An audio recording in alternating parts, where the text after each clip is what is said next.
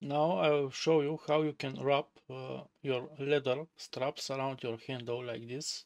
So follow. And uh, if you want full tutorial, you can visit my channel. Thank you. So now we're going to hide uh, these other parts and we have this cylinder which is stretched a little bit on x-axis and uh, now we're going to add uh, one plane and we're going to rotate it on x-axis 90 degrees and we're going to scale it. Let's move it this to a position. And here we're going to go to edit mode and we're going to subdivide for three times. So basically what we need is just five vertices here. So let's delete the rest and let S and Z to scale this a little bit down. So now we're going to add modifier. Let's add a screw.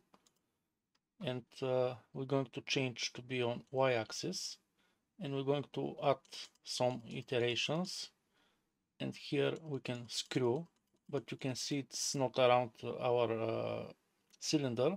So we're going to change the origins to be here and now you can see we are around the handle.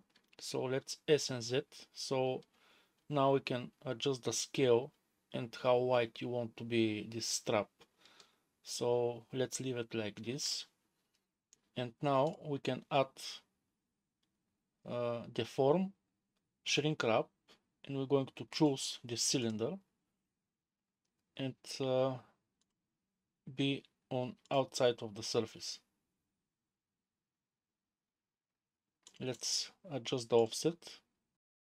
Now we're going to add uh, subdivision surface. Let's make it three levels. And also we're going to add solidify. So now you can see we're going there